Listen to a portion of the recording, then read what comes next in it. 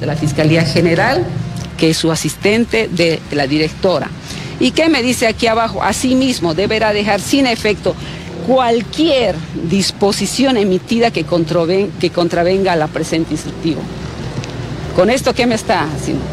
Que deje sin efecto la comisión que yo habría designado en este caso, como lo he hecho en otros casos también, de feminicidios, de robos, cuando vemos que son casos de relevancia, cuando vemos que los casos son complejos, no solo en este, hemos conformado equipos en varios casos. Mi persona siempre se ha caracterizado por eso.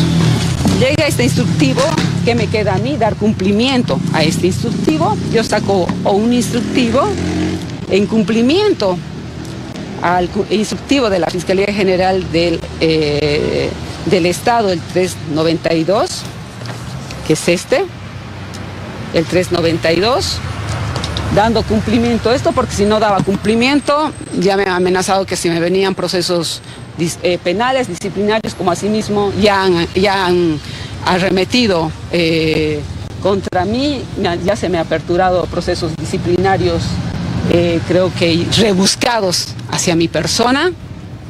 No importa, yo me voy a defender siempre con la frente en alto porque yo todo, en todos estos años que he estado en la Fiscalía siempre hemos trabajado con transparencia y con hidalguía. Es por eso que aquí estoy dando la cara no me estoy escondiendo ante nadie. Lamento que me hayan cerrado la fiscalía para que yo pueda a ustedes recibirlos. esto se ve. Y lo que sí sé que eh, instruyó la, precisamente la eh, directora, la doctora mm, Rocha, la doctora, mm, eh, la directora de la Fiscalía Especializada, la doctora Alejandra Rocha Sali, Alejandra Sali Rocha Villarroel. ¿Se habría... de tapar este caso? Primero lo que quiero es ir, es ir por pasos y después yo voy a decir lo que es lo que ha pasado. ¿Ya? Yo saco cumplimiento de esto, porque capaz que si no cumplía esto, se me venía otro proceso disciplinario, otro proceso penal una persecución que lamento que venga desde mi propia institución donde he trabajado casi 13 años, donde he trabajado día y noche y los que me conocen que ni siquiera salía a almorzar, donde había un caso estaba yo presente, no me importa. Ese es mi trabajo, esa es mi forma de ser y lo voy a seguir haciendo de donde yo esté. ¿Quién le inicia esta persecución? Ahora, ¿qué pasa? El día de hoy, a los dos fiscales precisamente, a los que se los acciona, les llega el memorándum de agradecimiento al doctor Walter Andrés Soruco Chamoso, que era parte, uno de los tres fiscales que conformaban el equipo para hacer esta investigación. Le llega el día de hoy, verán, 2 de octubre del 2004, como asimismo le llega al otro doctor, al doctor Cristian Antonio Guerrero Ticona, también agradecimientos de servicios del 2 de octubre, porque ellos eran parte de la comisión. Aquí lo que nos extraña que por qué no le llegó también a la doctora Pamela Obando, que ella también era parte de la comisión. Aquí, o aquí favoritismos para unas personas y para otras no. Y acabo de llegar, yo estaba en una reunión, acabo de llegar al Ministerio Público donde me están esperando me entregan la resolución Fiscalía General del Estado número 193 2004 del 2 de febrero, también del día de hoy. Yo lo he recibido con la hora 8 y 5 pm del 2 también, donde se me hace primero, eh, me llama y me dicen que en 20 minutos me llama el fiscal general, en 20 minutos presente yo mi renuncia cuestión que yo no lo hice, entonces eh, me, eh, eh, al llegar aquí apenas he llegado, no me dejaron ni siquiera entrar a mi oficina, me, como si fuésemos unos delincuentes, así también lo hicieron a los dos abogados que ni siquiera le dejaron sacar sus pertenencias, no le dejaron sentar a la computadora, lo sacaron. Entonces, para mí esto es una persecución y lo denuncio públicamente, lo denuncio ante, y también lo voy a hacer una denuncia ante la comunidad internacional, de cómo el fiscal Juan Lachimpa Ponce, que cuando ha jurado, ha jurado defender la legalidad de las normas, defender a la sociedad, pero tratándose aquí de un exmandatario de Juan Evo Morales Aima, donde existe un delito de lesa humanidad que es de trata y tráfico, a estas dos personas, a la directora de género, que es mujer, que ella debería estar defendiendo los derechos de la mujer y más que nada en estos delitos de trata y tráfico, ha venido a impedir, a deshacer este, eh, este, eh, esta conformación y a parar absolutamente todas las investigaciones que estábamos llevando adelante. He tratado de hablar, primero se habló con ella, ella me dijo que solamente venía a hacer una revisión del caso. Hablé también con el fiscal eh, general, el doctor Lanchipa, donde él me dijo, no solamente están yendo a hacer un análisis, pero cuando vinieron acá empezaron a sacar a todo y decir, nosotros estamos a cargo de este caso y no se va a hacer nada.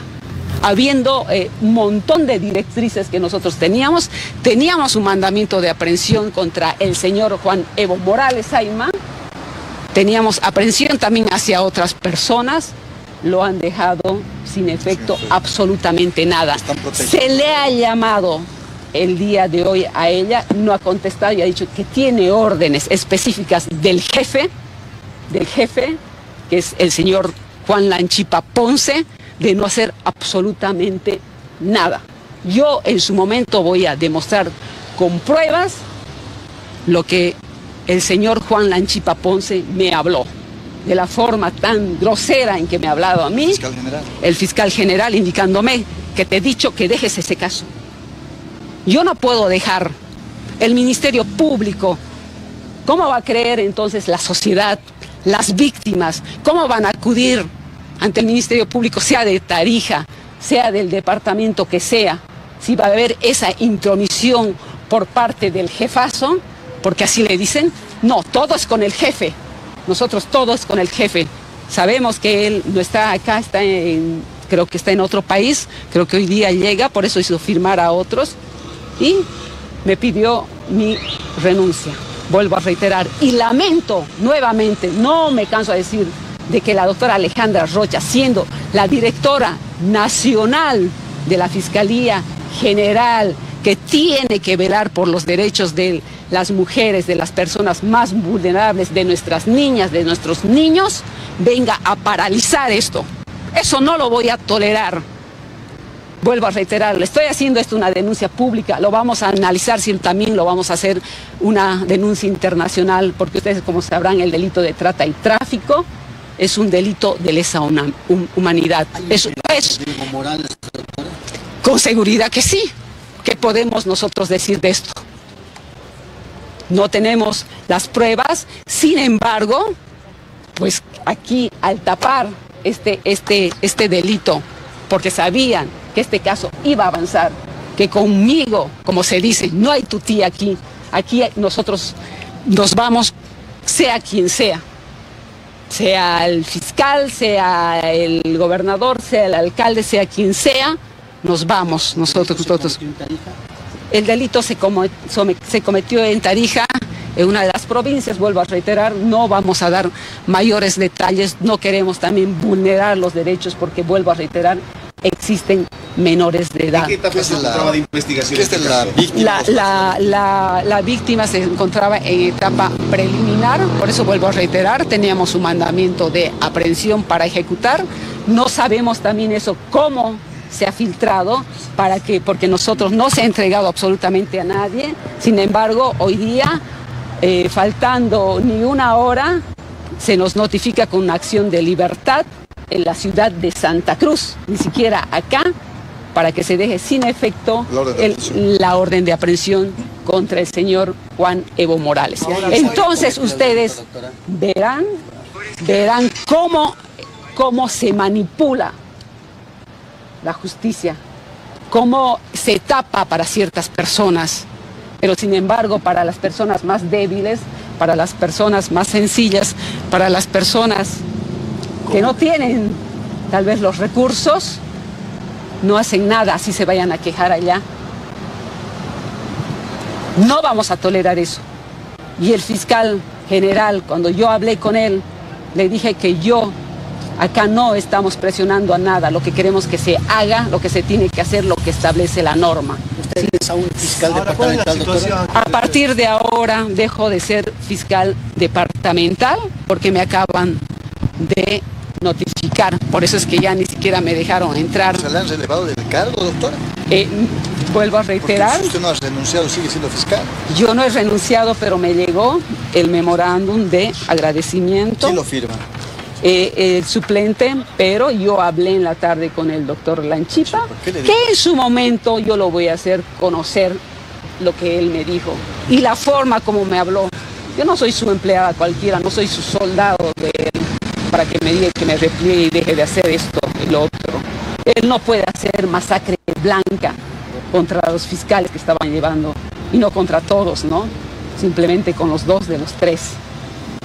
Saquen ustedes sus conclusiones. Saquen ustedes sus conclusiones. Qué- qué valiente. ¿Cómo, cómo realmente actúa No desde, tiene- desde la Fiscalía no General? ahora con todo lo que usted ha avanzado y conoce además ahora, porque usted ya conoce. Mire, yo siempre he trabajado con la frente en alta. Así es, amigos de todo el país, de esa forma. Ya lo escucharon ustedes, eh, una transmisión al vivo este, desde Tarija, la fiscal departamental de Tarija, que había librado una orden de aprehensión o que había confirmado una comisión de fiscales para investigar al expresidente Evo Morales, ha sido destituida por el eh, fiscal general de la Nación.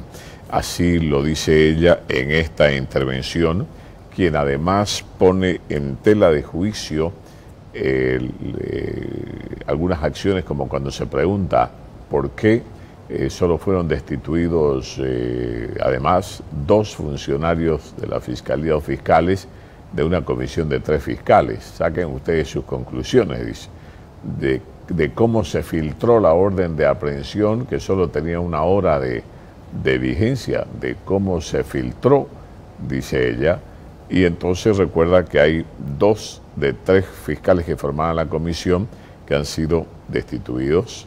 Entonces saquen sus conclusiones, dice, como quien dice, vean dónde está la traición.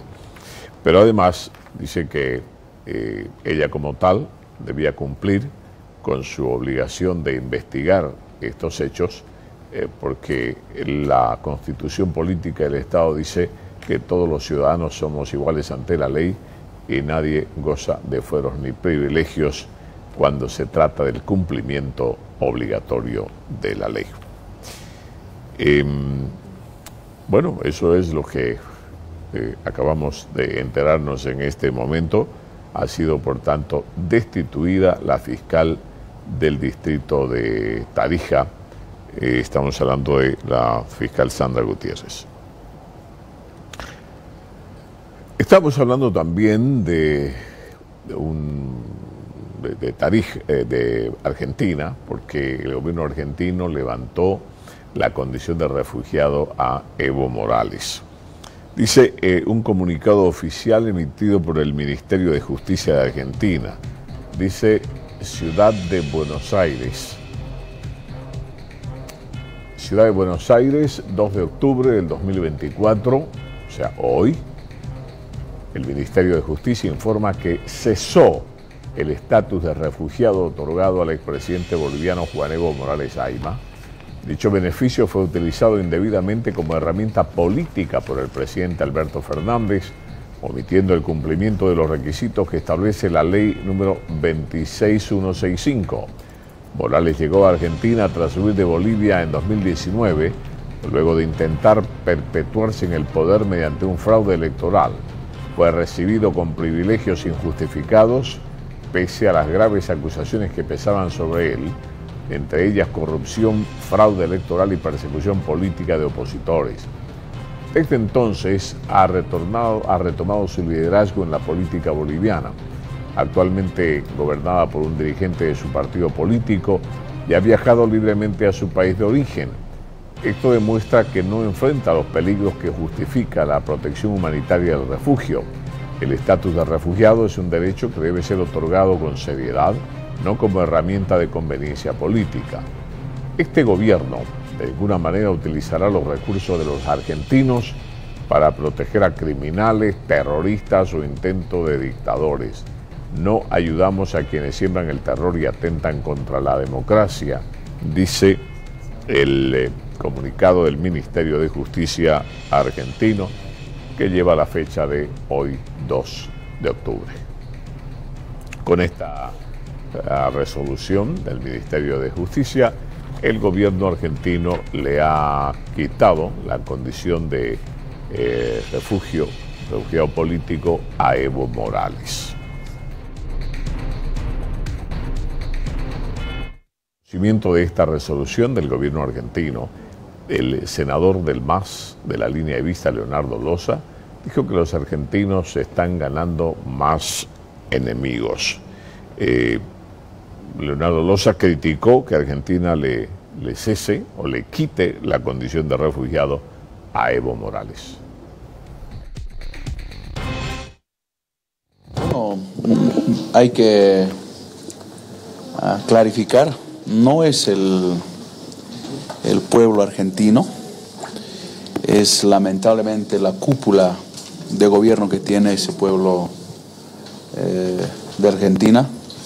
Eh, ¿Qué podemos esperar de un gobierno clasista, de un gobierno racista, de un gobierno que excluye a la clase indígena, a la clase campesina? Así que no es de extrañar. Para mí, más al contrario, el gobierno argentino se retrasó. Nosotros creíamos que al día siguiente de su posición iba a quitarle. Seguramente se olvidaron, no sé qué pasó, pero nosotros no, no esperamos nada a un gobierno que odia, que odia definitivamente a la clase campesina, así como Evo Morales. ¿Qué podemos esperar de un gobierno racista, de un gobierno clasista, de un gobierno que odia al movimiento indígena, a la clase indígena, a la clase campesina? Así que eh, quizás nos pueden calificar de peores cosas. Entonces yo creo que eh, el gobierno argentino, a espaldas del pueblo argentino, está buscándose, yo diría, enemigos por todo lado, no solo con Bolivia, sino con diferentes países. Así que no, no, no, no es extrañar para nosotros que un gobierno que odia, recalco, al movimiento indígena, al pueblo, eh, tenga ese tipo de aseveraciones.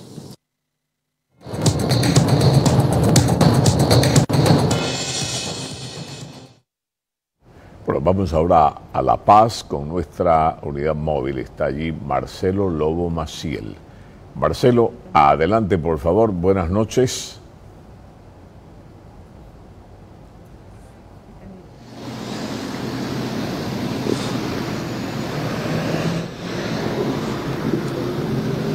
Eh, buenas noches, don Jorge. Muy buenas noches a todo el país. Información de último momento, don Jorge, da cuenta que el Ministerio Público de Tarija ha emitido una orden de aprehensión contra el expresidente Evo Morales. En este caso sería un proceso abierto desde el año 2019 por el presunto delito de trata y tráfico de personas y estupro tomando en cuenta que eh, supuestamente habría estado con eh, una menor de edad en aquellos tiempos. Usted se debe recordar, don Jorge, en aquel momento eh, tuvo mucho que hablar una, una, una jovencita de nombre Noemí, vamos a, guardar su apellido en, en, reserva porque en ese tiempo era, era menor de edad, creo que ahora ya es mayor de edad, pero igual protegemos eso, don Jorge. Entonces, dentro de ese proceso lo que hemos podido averiguar es que el 26, el pasado 26 de septiembre, eh, la fiscalía o el fiscal, en todo caso a cargo de este proceso investigativo, habría emitido orden de aprehensión, don Jorge. Hemos tratado de llamar a algunas autoridades, pero no hemos tenido respuesta positiva.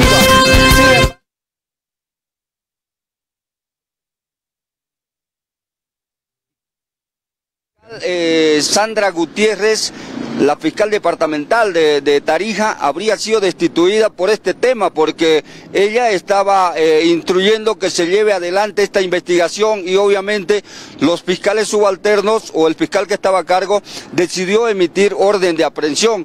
Inclusive eh, ya le habrían dado el memorándum de eh, destitución a la fiscal departamental de Tarija, Sandra Gutiérrez, don Jorge.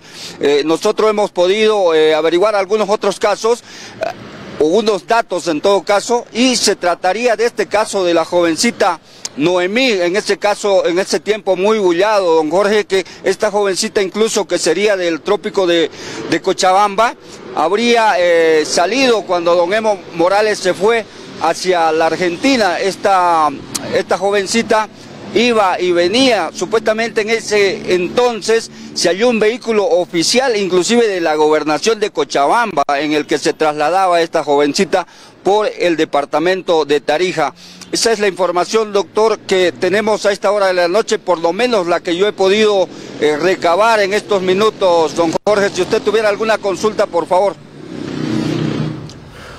Sí, Marcelito, permítame, permítame eh, complementar que, como decía esta mañana, ¿no? ¿Cuándo fue?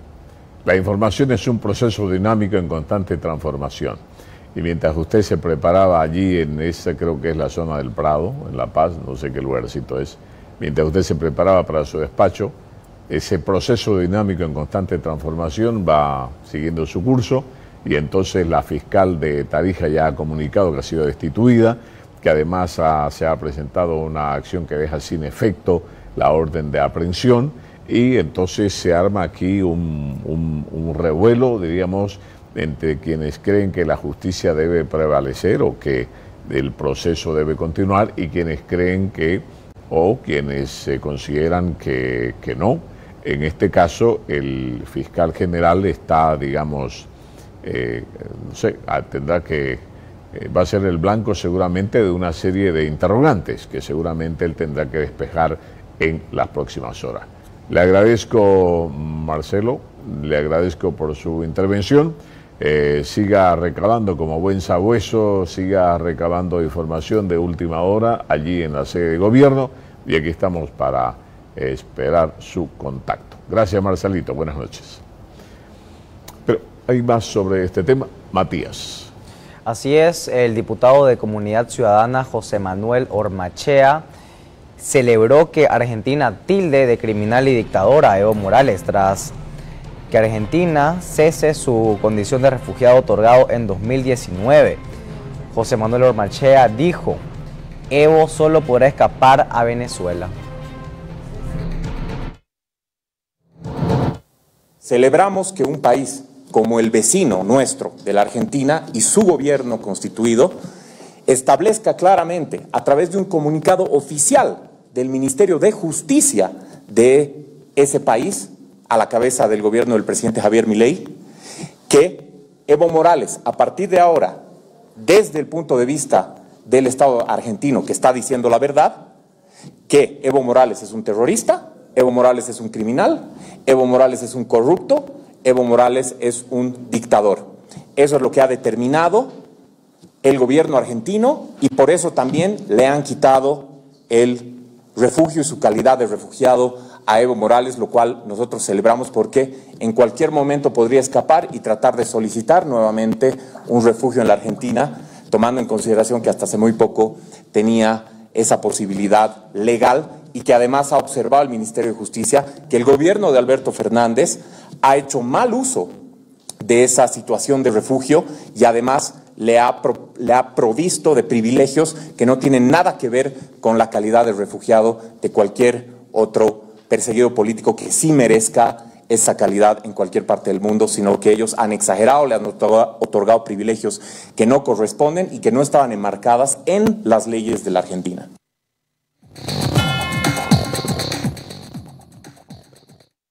Por su parte, el jefe de bancada del MAS, de la línea oficialista, Jerjes Mercado, dijo que el refugio de Evo Morales en Argentina no tenía sentido, dijo, porque el expresidente no es perseguido político para tener ese estatus. Evo está en Bolivia, dijo, y se respeta la decisión del gobierno argentino.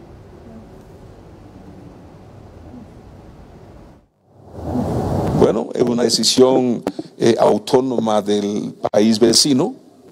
Eh, Evo Morales no está siendo perseguido políticamente por ningún gobierno y por lo tanto considero que no tiene ningún sentido que esté asiliado. Además, cuando uno está asilado en otro país, eh, no se viene a su propio país, ¿no es cierto? Llevo hace como tres años que está en Bolivia. Mire, yo soy muy respetuoso de las instancias pertinentes de otros países.